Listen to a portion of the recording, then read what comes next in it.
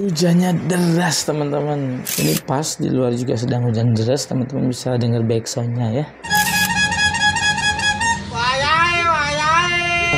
Bahasa Inggrisnya hujan deras apa ya?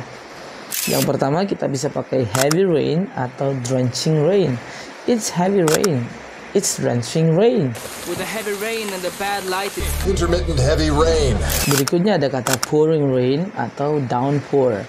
You can say it's pouring rain or it's downpour. Are you outside, Mom? In this downpour? Easter, we get a downpour. We got caught in the downpour. Raining cats and dogs. Hujannya seperti anjing dan kucing. Ini cukup obsolete. Obsolete itu cukup lawas. obsolete itu archaic atau so yesterday. Jadi teman-teman bisa biasa nemuin kata ini di film-film lama ya. It's raining cats and dogs. Just raining cats and dogs out there. I just It's raining cats and dogs.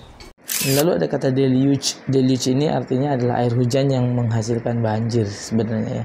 Tumpah airnya atau yang biasa kita sebut air bah. Hujan yang menyebabkan air bah ya. Ask me to pray for a deluge. His deluge. What? Deluge overflowed and drowned. Lalu ada kata soaking rain. Artinya adalah hujan yang deras banget. Tetapi secara khusus maknanya adalah hujan yang saking derasnya kita bisa sampai kuyup gitu ya. Lalu ada kata torrential rain. Artinya sama ya. Dan sheets of rain. Hujan yang deras. sheets of rain and hail. Nah itu tadi cara dalam bahasa Inggris untuk bilang hujan deras ya mulai dari yang paling update versi paling populer sampai versi yang paling obsolete atau paling yesterday yang paling jadul ya. Nah kalau hujan rintik-rintik ada yang tahu nggak ya? Nah ketik di kolom komentar. ya.